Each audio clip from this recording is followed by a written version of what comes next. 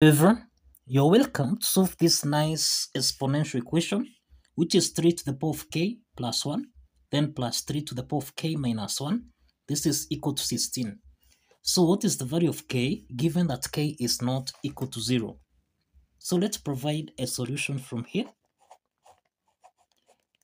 Now, this exponential equation is in the form of a to the power of n plus m, which we can express as a to the power of n multiplied by a to the power of m.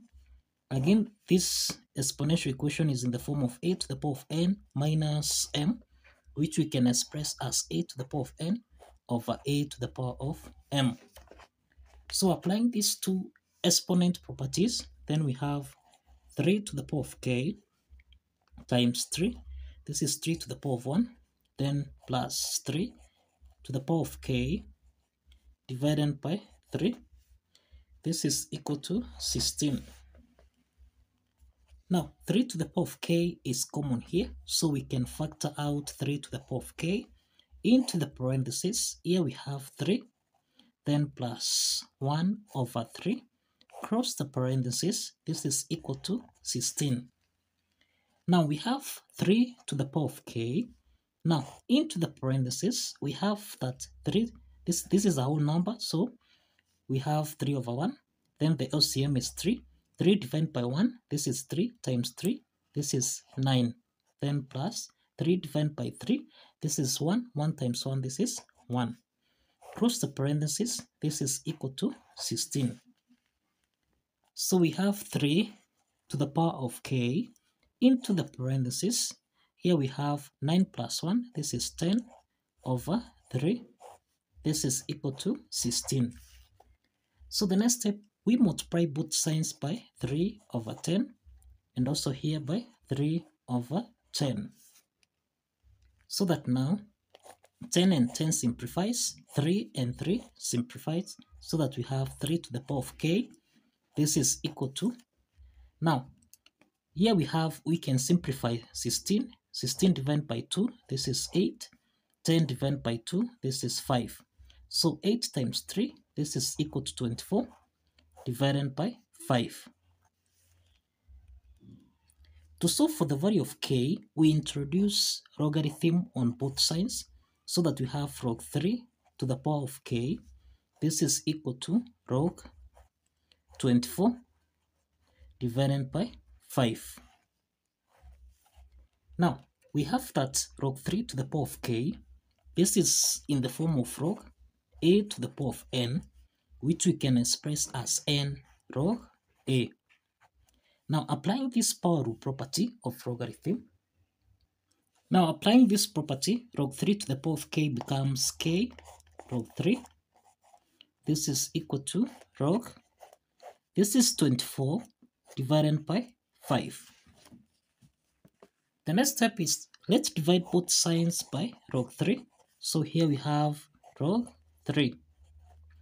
If we simplify here, then we have that k is equal to log, this is 24 divided by 5, then everything here divided by log 3.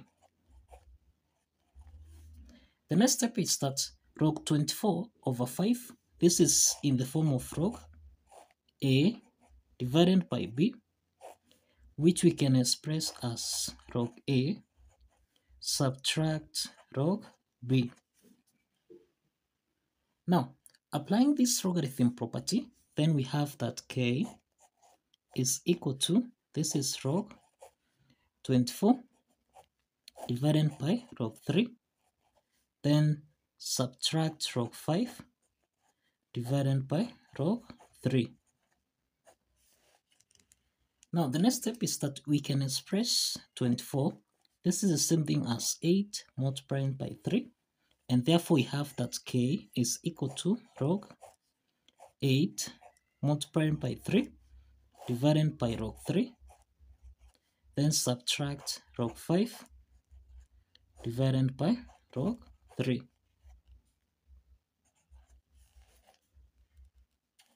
Now, the next step from here, log 8 times 3, this is in the form of log a multiplying by b, which we can express as log A plus log B.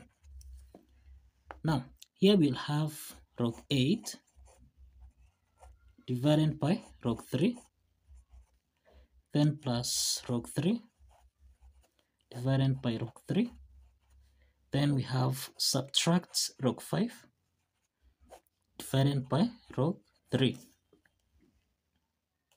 So log 3 and log 3 simplifies, so this is 1. So that now here we have 1 plus log 8. Log 8 is the same thing as 2 to the power of 3 divided by log 3. Then subtract log 5 divided by log 3. So now applying the power rule property, log 2 to the power of 3 becomes, now here we have 1 plus, now here we'll have 3 log 2 divided by log 3. Then subtract log 5 divided by log 3. Now we have that log 2 over log 3 and log 5 over log 3. This is in the form of log A divided by log b, which we can express as log a to base b. So let's apply this logarithm property so that now we have that k is equal to 1 plus 3 log 2 to base 3 subtract log 5 to base 3. So this is the value of k. This is the value of k.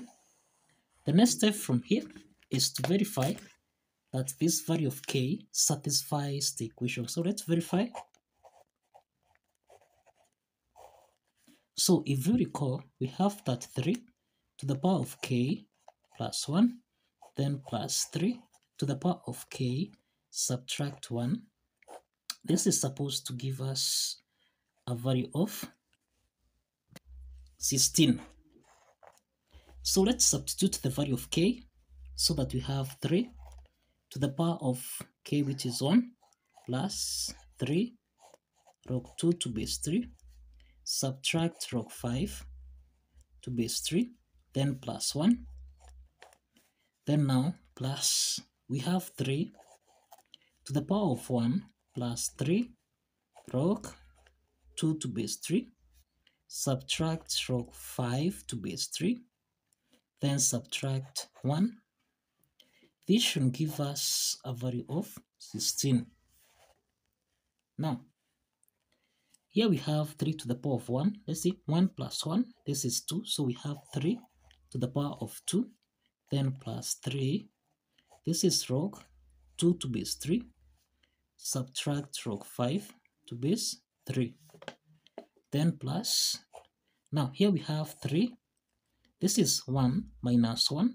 So this becomes 0, then plus. Here we have 3 log 2 to base 3, then subtract log 5 to base 3. This is supposed to give us a value of 16.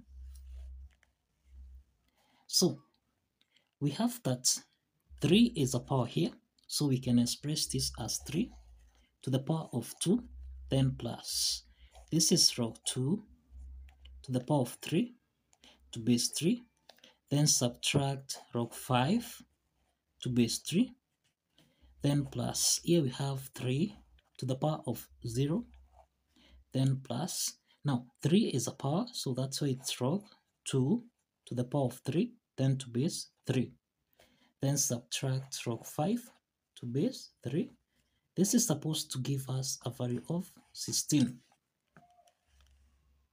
now, the next step from here, 3 to the power of 2 plus log 2 to the power of 3 to base 3 minus log 5 to the base of 3. This is in the form of a to the power of n plus m, which we can express as a to the power of n multiplied by a to the power of m. And again, this is in the form of a to the power of n minus m, which we can express as a to the power of n divided by a to the power of m. So applying these two exponent properties, here we have 3 to the power of 2 times 3 to the power of log 2 to the power of 3 to base 3, then divided by 3 to the power of log 5 to base 3, then subtract 3 to the power, now here we had, this is plus 3 to the power of 0, this is, we have 3 to the power of 0 times 3 to the power of log 2 to the power of 3 to base 3, then divided by 3 to the power of log 5 to base 3. This is supposed to give us a value of 16. Now, the next step is that we have 3 to the power of 0. Remember, this is in the form of a to the power of 0. This is the same thing as 1. Okay, so 3 squared, this is equal to 9, multiplying by. Now we have 3 to the power of 2. This is equal to 9, multiplying by 3 to the power of log 2 to the power of 3 divided by 3 to the power of log 5 to base 3 then plus 3 to the power of 0 this is in the form of a to the power of 0 which is equal to 1 so this implies that 3 to the power of 0 this is 1 multiplying by 3 to the power of log 2 to the power of 3 to base 3 divided by 3 to the power of log 5 to base 3 this is supposed to give us a value of 16. The next step is that 3 to the power of log 2 to the power of 3 to base 3. This is in the form of a to the power of log b to base a and this is essentially supposed to give us a value of b. So this implies that 3 to the power of log 2 to the power of 3 to base 3. This is, this is equal to 2 to the power of 3 and this is equal to 8 and that's 3 to the power of log 5 to base 3. This is equal to 5. So let's substitute 8 and 5 so that now we have 9 multiplying by 8 divided by 5 then plus here we have 1 times 8 divided by 5 this is supposed to give us a value of 16 now the LCM here is equal to 5. So that now we have 5 divided by 5. This is 1. Then we have 9 times 8. This is equal to 72. Then plus 5 divided by 5 is 1 times 8. This is equal to 8. And this is supposed to give us a value of 16. So this implies that 72 plus 8, this is equal to 80 divided by 5 and this is supposed to give us a value of 16. So 8 divided by 5, this is equal to 16. So we have that 16 is equal to 16.